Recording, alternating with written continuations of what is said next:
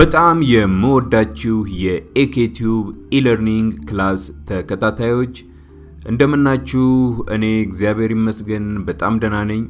እንኳን ወደዚህ እንግሊዘኛ ቋንቋን ለጀማሪዎች ወደ ተሰኘ class በሰላም መጣችሁ። በዚህ class የወንዶች አልባሳትን የወንዶች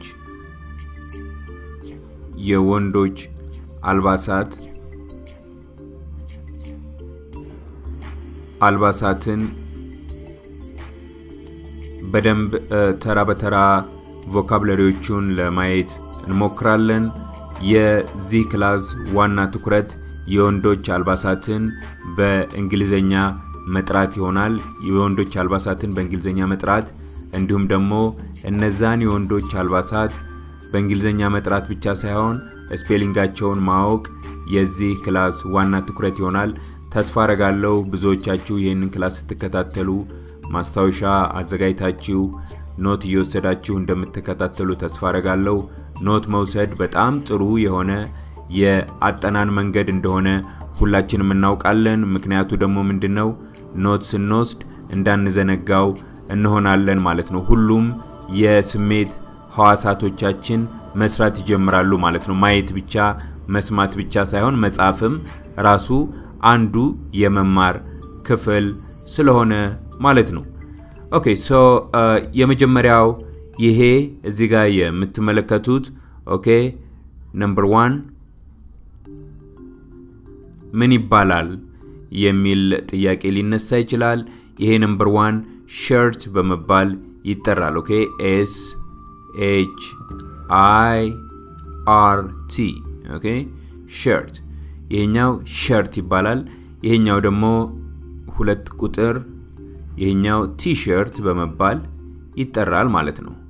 T S H I R T T-shirt። okay so ይሄኛው shirt ላይ እዚህ ጋር በተለያዩ ቦታዎች ላይ የዚህን የ shirt ክፍል ለመከፋፈል picture ኡ ላይ ጥረት ተደርጓል። እነዚህን አብረን እንመልከታቸው። እዚህ ጋር በ shirt ኡ okay አንገት አካባቢ ይሄ ምን በመባል በእንግሊዝኛ ይጠራል? collar በመባል ይጠራል። okay C O L L A R collar ማለት ምን ማለት ነው? ኮሌታ ማለት ነው። እንዲሁም ደግሞ እዚህ ጋር ከስር የምትመለከቱት ይሄ pocket በመባል ይጠራል። okay pocket pocket ኪስ ማለት ነው። okay ይሄ ደግሞ እዚህ ጋር ከዚህ ጫፍ okay እስከዚህ ጫፍ ድረስ ያለው የ shirt ክፍል ምን በመባል ይጠራል? sleeves በመባል ይጠራል። S L V E okay sleeves so ወደ ሁለተኛው ስናልፍ እንደተናገርኩት ይሄኛው ቲሸርት በመባል ይጠራል። ወደ ሶስተኛው ስናልፍ ደግሞ ይሄ የምትመለከቱት okay trousers ይባላል። አንዳንድ ቦታ ግን ልብ አድርጉ trousers ይባላል። T R O U S E R S trousers። አንዳንድ ቦታ ምን ይሉታል? ፓንት ይሉታል። P A N T ወደ ሰሜን አሜሪካ ብትሄዱ trouser ብትሉ አያውቁትም። okay so pant በሚለው ነው የሚያውቁት ማለት ነው። so እዚህ ኢትዮጵያ ውስጥ ደግሞ ሆናችሁ የምታጠኑ እነዚህን እንደ አማራጭ መውሰዱ ተገቢ ነው። trousers፣ pant። okay number four ይሄኛው ደግሞ እዚህ picture ኡ ላይ የምትመለከቱት okay jeans በመባል የሚታወቀው ማለት ነው። ጂንስ J E A N S okay jeans። ይሄኛው ደግሞ አምስተኛው ምስል ምን በመባል ይጠራል? short or shorts ይላሉ። ትንሽ በርከት ሲል so this is short ቁምጣ ለማለት ነው። ይሄ ደግሞ እዚህ ጋር በአራት ማዕዘን ውስጥ የምትመለከቱት ይሄ okay ስድስተኛው picture ልበለው belt በመባል ይጠራል። okay belt B E belt ቀበቶ ማለት ነው። ይሄ ደግሞ እዚህ ጋር ሰባተኛው button በመባል ይጠራል። okay button B U T T O N okay button ማለት ምን ማለት ነው? አዝራር ወይም ቁልፍ ማለት ነው። አዝራር ወይም ቁልፍ ማለት ነው። ስምንተኛው ስምንተኛው እዚህ ጋር ያለው ደግሞ ምን በመባል ይጠራል? ራሱ zip zip በመባል ይጠራል ማለት ነው። alright so እንግዲህ እዚች ጋር ደግሞ የምትመለከቷት ይቺ okay ዘጠነኛ ልበላት። ዘጠነኛዋ ይቺ ምን በመባል ትጠራለች?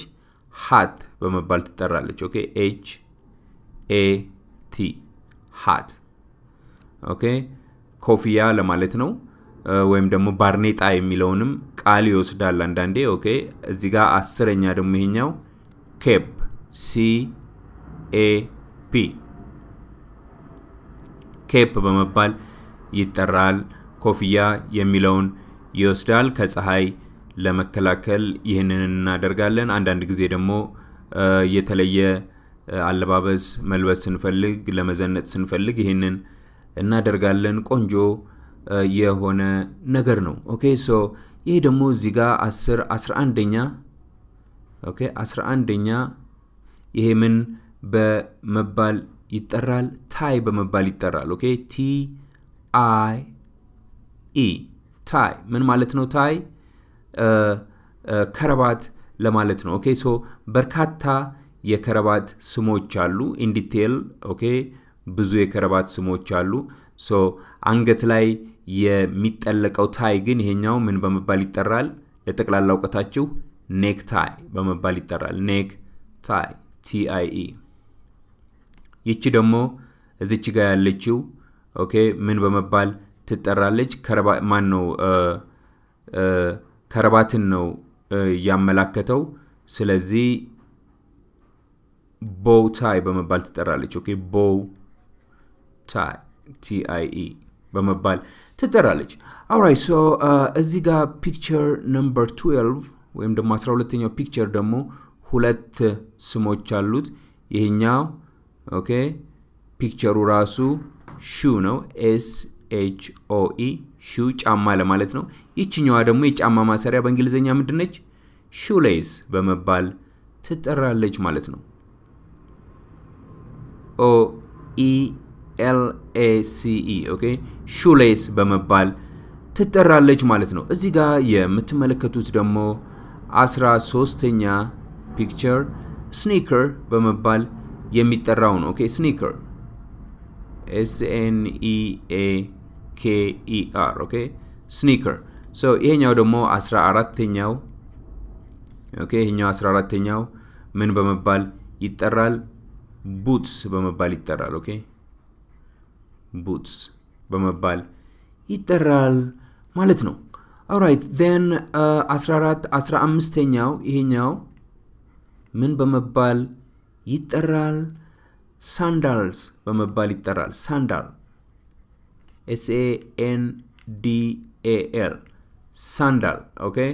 የዚህ የ15 የ16 እና የ17 እነዚህ ልዩነታቸው ምን እንደሚመስል እንመለከታለን። ይሄ 15ኛው sandal በመባል ይጠራል፣ ሸበጥ ለማለት ነው። ይሄኛው 16ኛው ደግሞ flip flops በመባል ይጠራል። okay F L I P flip flops F L O P S flip flops በመባል ይጠራል። በአውራጣታችንና በአውራጣታችን ቀጥሎ ባለው ጣት መካከል okay ገብቶ በቤቱ ስንሄድ ድምፅ እያሰማ ከተረከዛችን ጋር እየተጋጨ የሚሄደው የነጠላ ጫማ አይነት እሱ ነጠላ ጫማ ይባላል። so flip flops በመባል ይጠራል። sandal ደግሞ ሸበጥ ነው። የተለያዩ sandal ኦች፣ የተለያዩ ሸበጦች አሉ። ከቆዳ የሚሰራ እንዲሁም ደግሞ ከፕላስቲክ የሚሰራ አለ። okay so እሱ sandal በመባል ይጠራል። so number 17 is ይሄ ደግሞ እዚህ ጋር የምትመለከቱት okay slippers በመባል የሚጠራው ማለት ነው።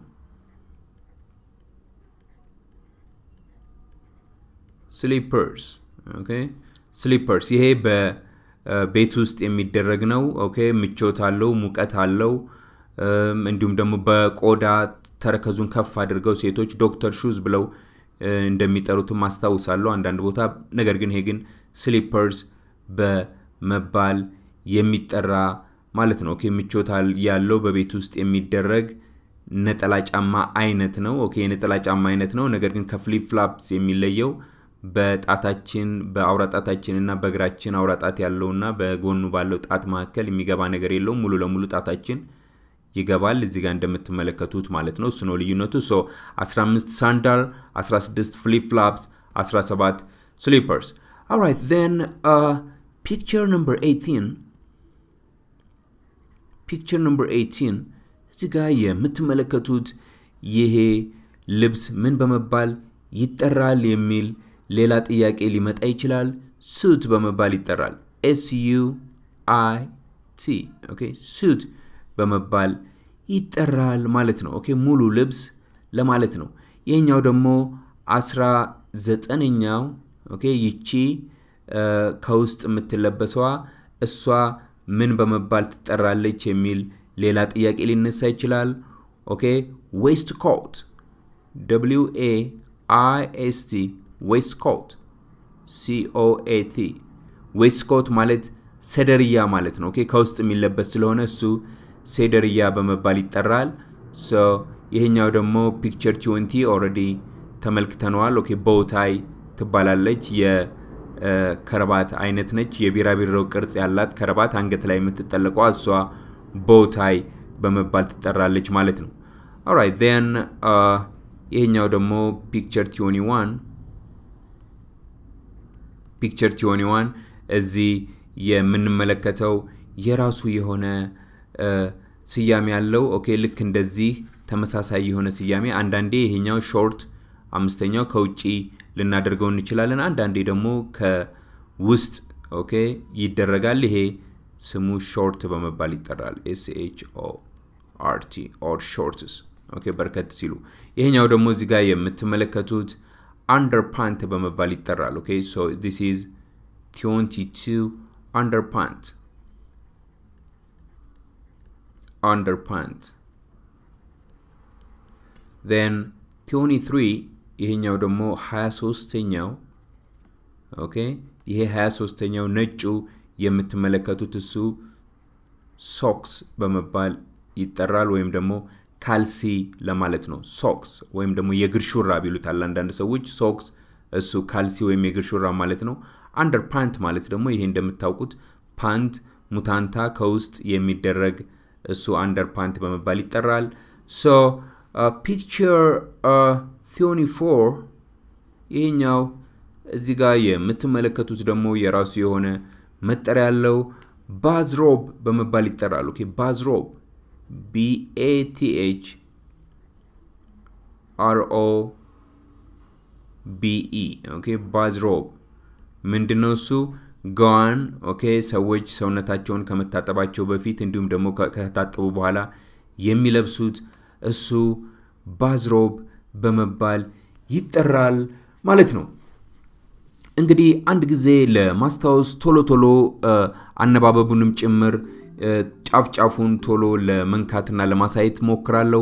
ነምበር ዋን ይሄ የምትመለከቱት ሸርት፣ ነምበር ቱ ቲሸርት፣ ነምበር ትሪ ትራውዘርስ number 4 jeans number 5 short number 6 belt number 7 button number 8 zip number 9 hat number 10 cap uh, and number 10 number 11 tie number 12 okay ሁለት ናቸው shoe and shoelace okay number 13 sneaker number 14 boots okay uh, number 15 sandal number 16 flip flops number 17 slippers okay number 18 suit 19 waistcoat ወይም ሴደርያ 20 bow tie okay 21 short 22 underpants 23 socks and 24 bathrobe ወይም ጓን ይባላል እንግዲህ እነዚህ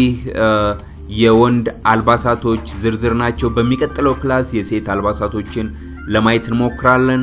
እርግጠኛ ነኝ የሳታችሁት ወይም ትዝ ያላላችሁ ነገር ካለ ወደኋላ ተመልሳችሁ እንደገና ቪዲዮውን ደግማችሁ እዩት። ኖታችሁ ላይ ያጠናክራችሁ ጽፋችሁ አጥኑት። የዛሬውን class እዚህ ጋር እናቆማለን። በሚቀጥለው class እስከምንገናኝ በተለያየ የዓለም ክፍል ሆናችሁ እነዚህን ቪዲዮዎች የምትከታተሉት የእግዚአብሔር ሰላም ይብዛላችሁ እላችኋለሁ። በጣም እወዳችኋለሁ። በሚቀጥለው class እስከምንገናኝ ድረስ እግዚአብሔር ፍቃዱ ይሁን። መልካም ማለዳ፣ መልካም ምሽት፣ መልካም ቀን ይሁንላችሁ። ቻው